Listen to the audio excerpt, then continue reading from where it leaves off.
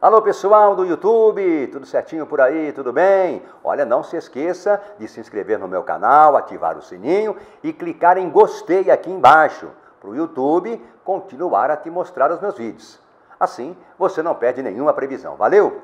E fevereiro, o que, que tem em fevereiro? Fevereiro tem carnaval aqui na Terra. E no céu, como é que está? Bom, o Sol transita em Aquário até o dia 18, quando entra em Peixes. O Sol aquariano é sempre favorável para quem trabalha com tecnologia, coisas modernas, eletrônica, para as amizades e também para desenvolver o nosso espírito solidário. E o grande acontecimento astrológico do mês é também a entrada de Vênus, o planeta do amor, em Peixes, dia 10, estimulando carinho e compreensão nas relações amorosas. Porém, Vale a pena ser menos emocional para não se iludir com falsas promessas, tá? Agora então, o seu horóscopo para fevereiro. Áries. Família e amigos. Bem, a primeira quinzena será animada no convívio com as pessoas queridas, né? E um clima de companheirismo deve embalar o astral do seu lar.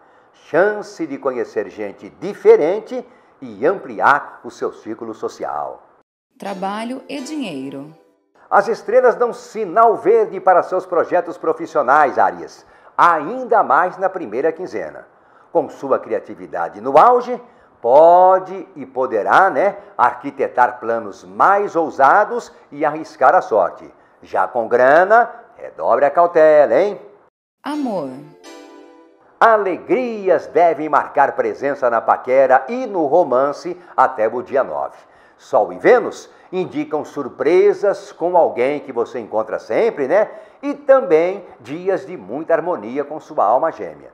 No entanto, a partir do dia 10, inveja, fofocas, intrigas e suspeitas podem atazanar a sua felicidade logo após o carnaval.